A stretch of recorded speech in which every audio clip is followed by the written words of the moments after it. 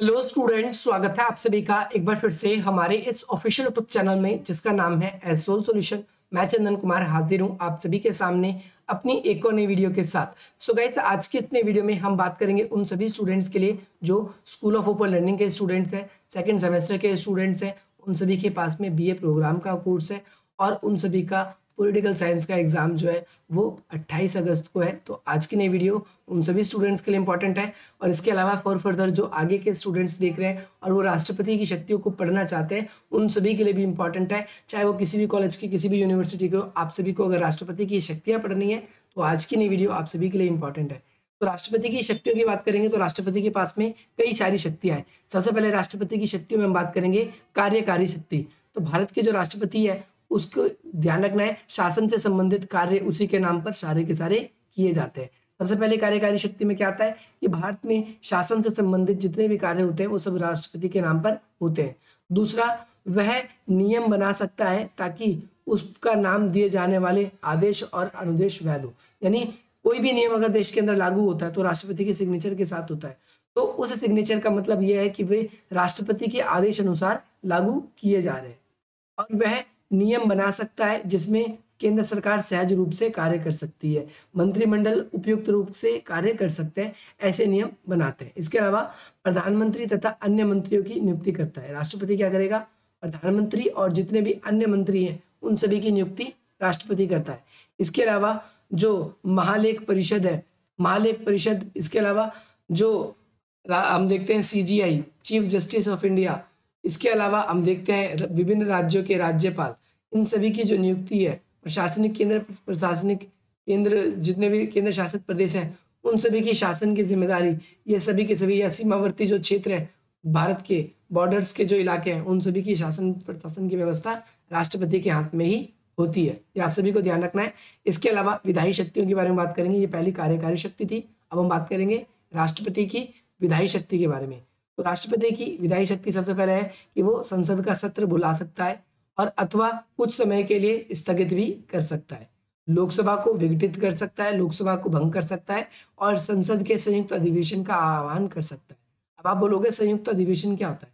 यानी कि ऐसा अधिवेशन जिसमें लोकसभा और राज्यसभा दोनों एक जगह बैठती है और उस समय राष्ट्रपति ही उसकी अध्यक्षता करता है। ये आप सभी को याद रखना है। इसके अलावा वह प्रत्येक नए चुनाव के बाद में प्रत्येक वर्ष संसद का प्रथम क्या करता है? अधिवेशन को संबोधित करता है। यानी जब भी संसद का जब अधिवेशन होगा तो पहला भाषण राष्ट्रपति के द्वारा ही दिया जाएगा। और वह संसद में लिखित या किसी भी विधेयक पर संबंधित संसद कोई भी कानून बनाना चाहती है तो उस कानून को द्वारा से क्या कर सकता है? भेज सकता है। इसके अलावा वह साहित्य, विज्ञान, कला और समाज तथा अन्य व्यक्तियों के बीच में ध्यान रखना है। बारह बारह व्यक्ति को, देखो, जो भी व्यक्ति साहित्य की वजह से, कला की वजह से, विज्ञान की वजह से, खेल की वजह से, ज्ञान की वजह से, जिन व्यक्तियों ने भारत का गौरव ऊँचा उठाया तो ऐसे व्यक्तियों को क्या किया जा सकता है? ऐसे व्यक्तियों को हम देखते हैं कि भाई राष्ट्रपति बारह सदस्यों को क्या कर सकता है? राज्यसभा में मनोनीत कर सकता है। इसके अलावा अगर एंग्लो इंडियन अंग्ला भारतीय बोलते हैं, अगर इनको जो है एंग्लो इंडियंस को लोकसभा में समर्थन या बहुमत नहीं मिला या लोकसभा में उनका चुनाव नहीं हुआ है तो लोकसभा में दो सदस्यों को राष्ट्रपति मनोनीत करता है। वह चुनाव आयोग के परामर्श पर संसद के सदस्यों को निर्वहन और प्रशासन करने का कार्य करता है। चुनाव आयोग के द्वारा ही किसी क्षेत्र में चुनाव करवाए जाते हैं और जब भी, भी राष्ट्रपति प्रधान ध्यान रखना है प्रधानमंत्री इन सब का इलेक्शन भी हो तो चुनाव आयोग ही करवाता है। अगला है राष्ट्रपति के पास में फाइनेंशियल पावर वित्तीय शक्ति। तो वित्तीय शक्ति में ध्यान रखना है कि धन विधेयक जो है राष्ट्रपति को पूर्वानुमति से संसद में प्रस्तुत किया जा सकता है। यानी राष्ट्रपति से पहले हम परमिशन लेंगे, पूर्व पहले हम परमिशन लेंगे, उसके बाद ही हम संसद में पेश कर सकते हैं। इसके अलावा वह वार्षिक वित्तीय विवरण, वह वार्षिक वित्तीय विवरण केंद्रीय बजट पर संसद के समक्ष रखा जाता है। जब राष्ट्रपति उस समय मौजूद होगा, उसी समय केंद्रीय बजट रखा जाएगा। अनुदानों की कोई भी मांग जो है या उसकी सिफारिश जो है बिना राष्ट्रपति के नहीं की जा सकती। भारत में एक होती है इमरजेंसी फंड, जिसे बोलते हैं आकस्मिक निधि। ऐसे पैसे जो आकस्मिक निधि है, जिसे सरकार कब यूज़ करेगी, ऐसे स्थिति में यूज़ करेगी, जब वो युद्ध जैसे कगार पे होगी या उस पर कोई बाहरी आक्रमण होने वाला होगा। तो ऐसे समय में हमारे देश पे आर्थिक संकट आ जाएगा तो उस आर्थिक संकट से निकालने में जो है राष्ट्रपति ऐसे आकस्मिक निधि का उपयोग करता है। ये ध्यान रखना, राष्ट्रपति अपने पर्सनल यूज़ के लिए नहीं कर सकता। पांचवी शक्ति की बात करें तो राज्य व केंद्र के बीच में राजस्व को बंटवारे के लिए पाँच वर्ष में एक वित्त आयोग का गठन करता है। वो क्या करता है कि वित्तीय वित्तीय आयोग का गठन करता है और ये वित्तीय आयोग है। वो क्या करता है? वित्तीय आयोग का मुख्य रूप से कार्य यह है कि भाई, जितना भी टैक्स कलेक्ट हुआ है ना, उस कलेक्ट को या तो गवर्नमेंट को पेड करना या फिर अपने पास में रखना। जब भी गवर्नमेंट को ज़रूरत होगी तो वो उससे मांग लेगी। अगला पॉइंट है न्यायिक शक्ति की बात करें तो उच्चतम न्यायालय के मुख्य न्यायाधीश और उच्चतम उच्च न्यायालय जो है, उसके उच्च न्यायाधीश जो है, वो उन न्यायाधीशों की नियुक्ति होती है। यानी सुप्रीम कोर्ट के न्यायाधीश जितने भी होंगे, उन सबको चुनाव और हाई कोर्ट के जितने भी न्याय, न्यायाधीश हैं, उन सभी को शपथ दिलाने का काम जो है, कौन करता है? वो राष्ट्रपति करता है आप सभी को याद रखना इसके बाद में वह उच्चतम न्यायालय के किसी भी विधेय तथा सलाह पर काम कर सकता है। यानी वित्तीय, जो भी हमारी दूसरा सदन है, आप सभी को ध्यान रखना है कि राष्ट्रपति जो है, राष्ट्रपति जो है राष्ट्र यहाँ पर सॉरी इस पॉइंट को अच्छे तरीके से समझेंगे कि उच्चतम न्यायालय, यानी सर्वोच्च न्यायालय जो है, उसमें अगर सर्वोच्च न्यायालय चाहती है कि कोई कानून बन रहा है, उसकी जाँच करना, या राष्ट्रपति उससे सलाह मांगना चाहता है तो राष्ट्रपति उससे सलाह भी ले सकता है, परंतु सर्वोच्च न्यायालय उसे सलाह देगा ही देगा, ये कोई बाध्यकारी नहीं है। या राष्ट्रपति उससे सलाह मांगेगा ही मांगेगा, ये कोई बाध्यकारी नहीं है। फॉर एग्ज़ाम्पल राष्ट्रपति कोई भी कानून बना रहा है तो वो लोग क्या कर सकता है, सुप्रीम कोर्ट से परामर्श ले सकता है कि ये कानून जनता के लिए ठीक रहेगा या नहीं रहेगा। तो लेकिन ये परामर्श लोकसभा सॉरी सुप्रीम कोर्ट दे या न दे, ये ज़रूरी नहीं है।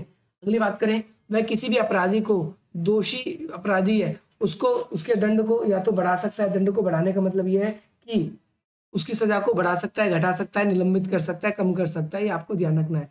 समाधान भी कर सकता है, उसकी सजा को पूरी तरीके से माफ़ भी कर सकता है, राष्ट्रपति के पास पावर है।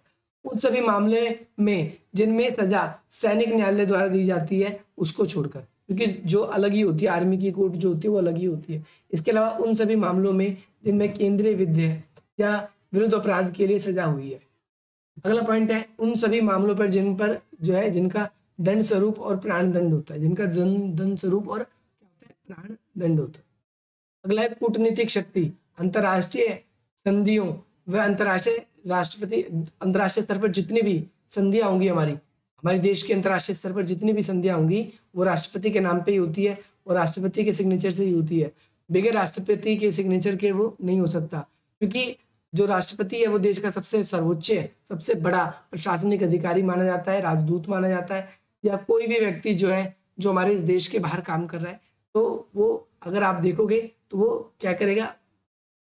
अगर कोई बड़ा अधिकारी है है ना? आप सभी को ध्यान रखना है। अब वो किसी दूसरे देश से समझौता कर रहा है तो वो राष्ट्रपति के नाम पर ही होगा, चाहे वो प्रधानमंत्री करे, राष्ट्रपति करे। इसके अलावा अगला पॉइंट है सैनिक शक्ति। सैनिक शक्ति में ध्यान रखना है, राष्ट्रपति जो है, वो सभी तरह की सैनिक टुकड़ियों, जो है, उन सभी का सेनापति होता है। उसकी क्षमता जो है, थल सेना, जल सेना, वायु सेना, इन सभी पर पूरी तरीके से वो अपना कंट्रोल रखता है। और ध्यान रखना है कि अभी युद्ध जैसी स्थिति हो जाती है ना? युद्ध समाप्त हो जाता है तो ऐसे समय में संसद की अनुमति से वो चाहे तो क्या कर सकता है, उसको आपातकाल लगाने की भी शक्ति प्राप्त है। आपातकाल वाला पॉइंट यहाँ पर है तो राष्ट्रपति आपातकाल लगा सकता है। किसने आपातकाल लगाया था? शुरू में ही बताया था, फखरुद्दीन अली अहमद जी ने लगाया था। और भारत देश में तीन तरीके से आपातकाल लगाया जा सकता है। पहला, राष्ट्रीय आपातकाल, जो कि अनुच्छेद तीन सौ बावन के अनुसार है। इसके बाद में राष्ट्रीय शासन आपातकाल, यानी प्रशासन ढंग से चल नहीं रहा है तो इसकी वजह से आपातकाल, आर्थिक व्यवस्था ढंग से नहीं चल रही तो इसकी वजह से, और देश के अंदर युद्ध जैसे हालात हैं तो इस वजह से। ये तीन वजह से देश के अंदर आपातकाल लग सकता है, अन्यथा देश के अंदर आपातकाल नहीं लग सकता। सो so गाइस ये थी वीडियो आप सभी के लिए। अब हम इसके अंदर देखें तो अब नीचे कॉन्सेप्ट बच गया है? राष्ट्रपति की समाधान करने की शक्ति। तो राष्ट्रपति को आर्टिकल 72 में ये पावर प्राप्त है कि वो लोगों को समाधान कर सकता है, पूरी तरीके से निर्दोष साबित कर सकता है और साथ ही साथ में यहाँ पर आप सभी को ध्यान रखना है कि राष्ट्रपति जो है, वो देश का सर्वोच्च नागरिक होता है, ये आपको ध्यान रखना है। इसके अलावा संघीय विधि संघीय विधि का मतलब जितना भी संघीय स्तर पर कार्य होता है, आपराधिक कार्य होता है, वो दंड जो है राष्ट्रपति के हिसाब से दिए जाते हैं। ऐसे तो संविधान के हिसाब से दिया जाता है, परंतु राष्ट्रपति उनके दंड को कम या ज़्यादा कर सकता है। ये आप सभी को ध्यान रखना है। और ये सारे के सारे पावर्स थे, ये सारे के सारे फ़ंक्शंस थे किसके? राष्ट्रपति के। राष्ट्रपति के कुछ और भी फ़ंक्शंस है बट ये आप सभी के लिए इनफ है। यू कैन राइट इट आप इस चीज़ को याद कर सकते हो। बाकी मिलते हैं हम आप सभी से अपनी अगली वीडियो में। जय हिंद, जय